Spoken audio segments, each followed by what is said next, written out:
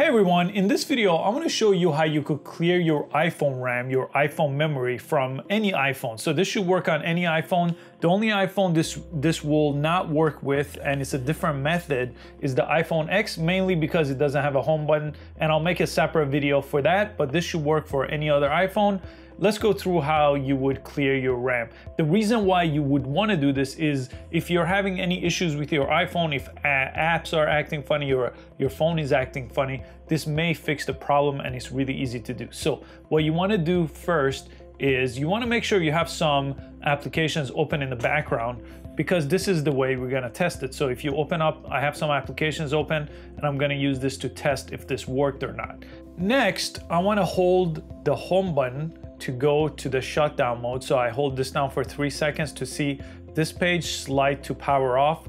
I don't wanna power off just yet. I wanna be on this page and I wanna hold the, the button right here. I'm gonna hold that down and then it's gonna take me to that page. It took about five seconds and now that actually cleared my memory. So the way to check that is I wanna double click this to bring up the applications and if I press on an application, it should refresh it. So it technically quit this application and there we go.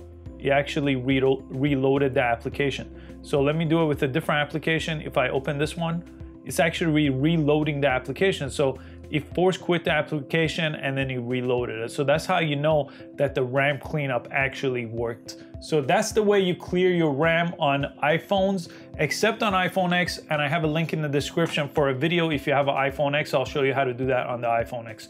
I hope you found this useful. Please give it a like and subscribe to this channel for a lot more tech tutorials just like this one.